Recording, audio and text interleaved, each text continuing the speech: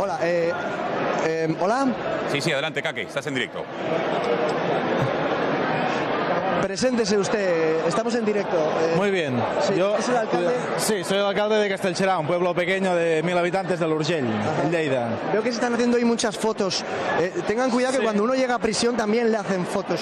Bueno, hoy está bien. Yo sabes qué pasa que es la primera vez que vengo. Entonces, pues hago las fotos, igual que la primera vez que si me, me echan a la cárcel, pues me van a Como tener la primera vez que uno se independiza. Es que esto es como una fiesta. ¿Ustedes son Sí. conscientes de lo que están haciendo?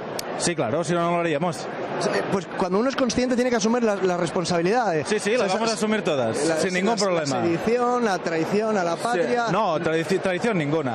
Sedición, bueno, si nos acusan de sedición sin problema, pero vamos a asumir responsabilidades porque por eso el pueblo nos ha puesto en. Son conscientes de que están violando la ley.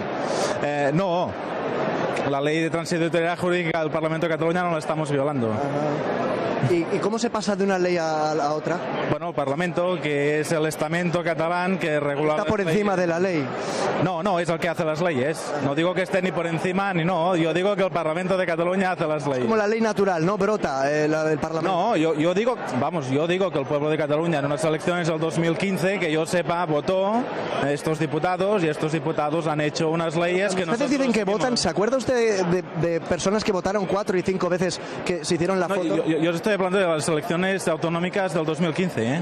Ah, Yo bueno, no las vi nadie elecciones votando cuatro o cinco veces. Bueno, a esas elecciones se sometieron a la legalidad que le proponían a, Puigdemont Sí, claro, y de claro. la que él no se fiaba. Claro, y entonces salieron estos diputados y el pueblo de Cataluña eligió la independencia y por eso estamos aquí, porque hay una mayoría de diputados, digo yo, ¿eh?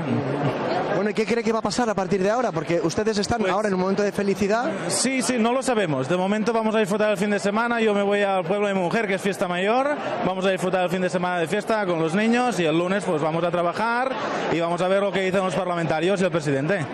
Vamos a ver lo que dicen los parlamentarios y el presidente. Bueno, pues nada, eh, ahí queda su testimonio, alcalde. Muchas gracias. Que no tengan que Bueno. usar el, el bastón. No, no, aquí lo único que utiliza el bastón es la policía y la Guardia Civil Bueno. contra la gente que quiere ir a votar. Bueno, gracias, Kake, y gracias, alcalde, desde luego, por haber dado este testimonio.